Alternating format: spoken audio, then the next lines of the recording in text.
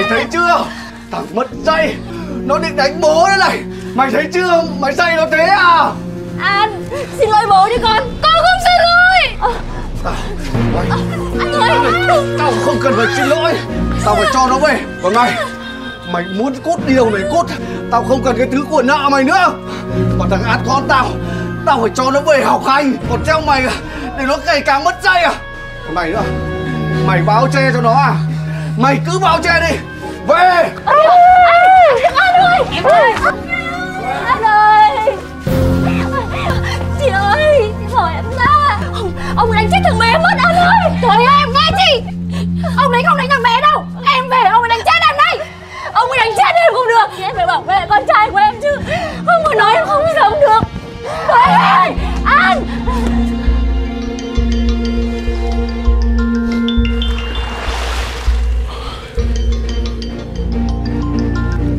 Em nghe đi chị ngoan.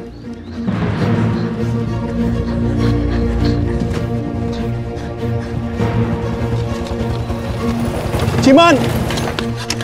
Quý ơi Lão thằng lão ấy bắt thằng An đi mất rồi Chị phải về cứu nó. Chị Mân Từ từ đã. Không được Chị phải về luôn. Không là lão ấy đánh thằng bé chết mất. Chị ơi! Chị cứ bình tĩnh. Để em nghĩ cách. Nhưng mà Nghe em đi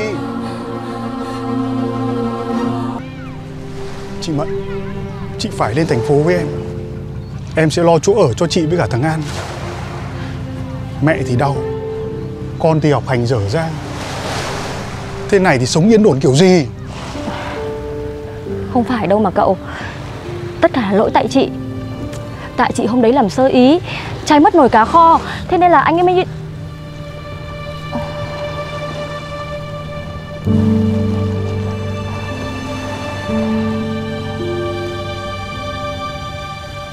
Quý này.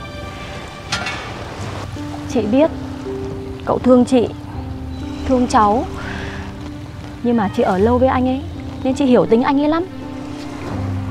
Anh ấy nóng nảy thật đấy, Nhưng mà được cái rất thương con.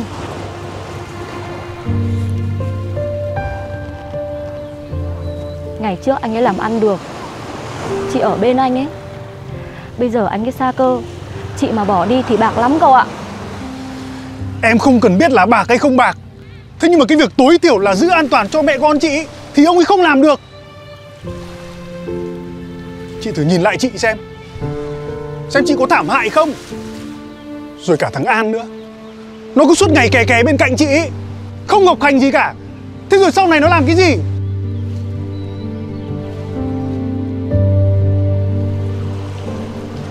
Khổ thân thằng bé. Để nó phải chứng kiến những cảnh đấy. Nhưng mà thôi cậu ạ. Chỉ cần từ giờ chị chú ý Không gây ra lỗi gì Thì anh không có cơ đánh chị đâu. Trời ơi chị Mận ơi! Sao chị cứ phải chịu khổ thế nhỉ? Nếu chỉ có mình chị Thì thế nào chả được. Nhưng mà còn thằng An nữa. Việc học của nó đang như thế. Bây giờ mà chuyển đi Lại giang dở ra. Chị không muốn Rồi còn cậu nữa. Cậu cần phải chăm sóc tốt cho gia đình cậu Cho mấy mẹ con nó nữa chứ. Còn về phần chị Chị tự lo được. Chị nói cái gì đấy? Thế em không phải là em của chị à? Em không phải là gia đình của chị à? Khổ quá, chị không có ý đấy. Nhưng mà